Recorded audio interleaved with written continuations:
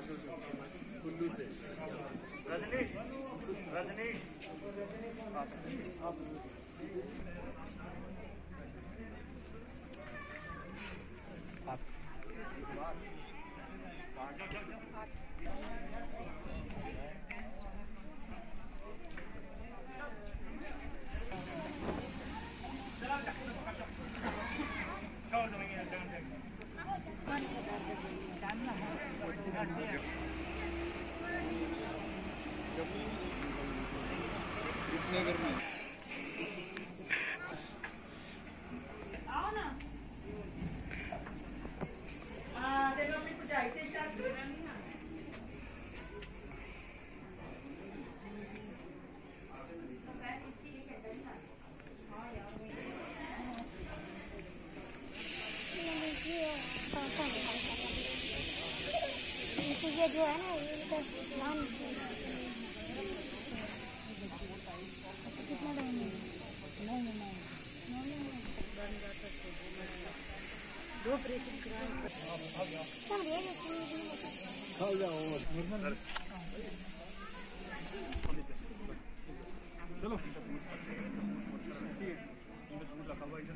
तो हो सकता है कि वो पथरी बाहर निकल जाए पेशाब के रास्ते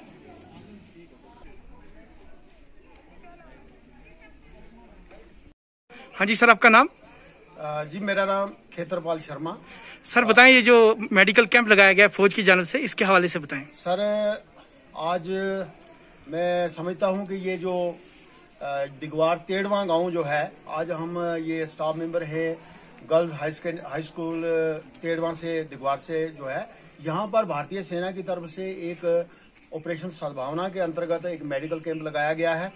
और सुबह से हम देख रहे हैं कि बहुत अच्छी मात्रा में और बहुत संख्या में जो है यहाँ पर लोग पेशेंट जो है वो आ रहे हैं। ये लोगों की बहुत बड़ी खुशकिस्मती है कि इस सीमावर्ती क्षेत्र में यहाँ से लगभग जो बॉर्डर है, वो आधा किलोमीटर से भी कम है।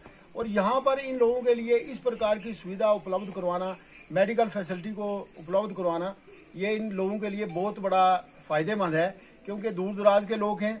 और खासकर इस वक्त जब खेती बाड़ी का, घास कटाई का काम चल रहा है और उस दौरान जो है यहाँ से लोगों को पहुँच जाते हुए या दूर दराज कहीं मेडिकल फैसिलिटीज़ जो है लेने के लिए जो जाना पड़ता है तो ऐसे समय में यहाँ पर आर्मी द्वारा जो है ये कैंप जो लगाया गया है, ये लोगों के लिए बहुत बड़ा फ़ायदेमंद है और लोग भी जो है बड़ी अच्छी तादाद में आ रहे हैं और अपने यहाँ पर जो है लेडी डॉक्टर्स भी है मेल डॉक्टर्स भी हैं, तीन चार डॉक्टर बैठे हुए हैं मेडिसिन की सप्लाई जो है वो भी फ्री में मिल रही है।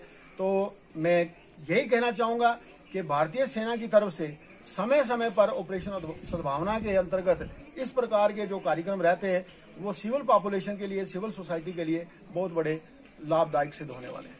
डॉक्टर साहब बताएँ ये फौज की जान से जो मेडिकल कैंप लगाए गए है बताएँ? आ, जी नमस्कार, मेरा नाम डॉक्टर वकील कौर है।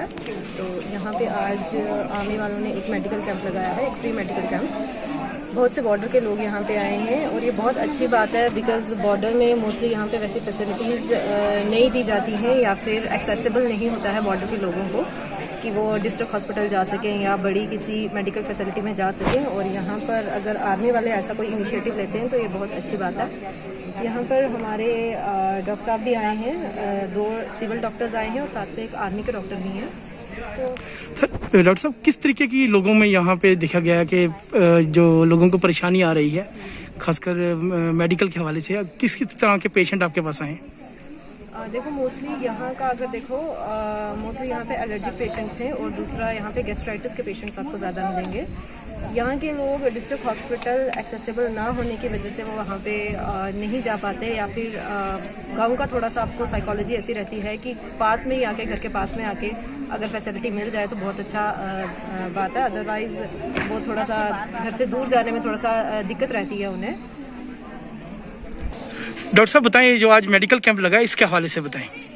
ये हमारे इंडियन आर्मी की तरफ़ से एक इनिशिएटिव है। कि हम इनके पास आएँ जो हमारे पास नॉर्मली चेकअप कराने इतने दूर नहीं आ पाते। हम फ्रेंड्स के पास हैं ये नॉर्मली सिटी में आके हमारे पास चेकअप नहीं करा पाते।